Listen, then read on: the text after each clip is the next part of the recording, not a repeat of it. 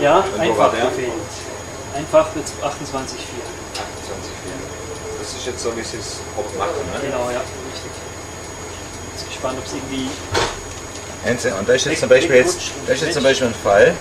Sie sehen, dass die obere Lage, dass die obere Lage Ja, genau, okay. nicht genau auf der anderen Lage sitzt. Sehen Sie das?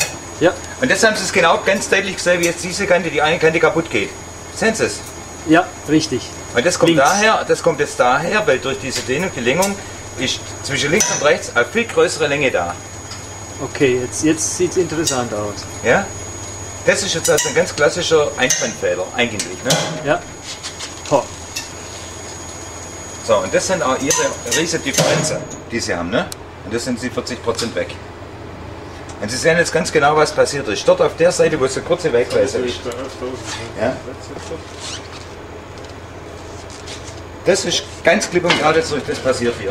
Und das muss, Sehen ich jetzt, das muss ich festhalten. Das ist Und das sind. Anbindungsfehler. Und das ist das, was ich vorhin auch, wo wir zusammengehockt sind, gesagt haben. Meine große Angst sind eigentlich diese Dinge. Ich habe vom Gurtplan nicht das Problem, sondern genau diese Dinge sind es.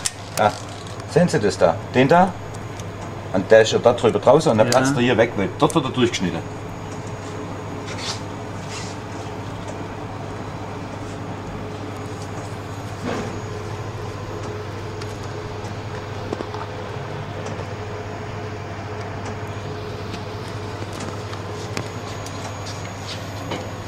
Weil es bis dahinter reingeht.